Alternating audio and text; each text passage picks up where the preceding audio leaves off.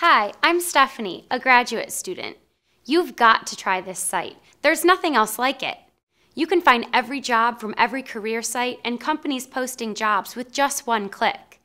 Then cross reference those jobs with contacts inside those companies.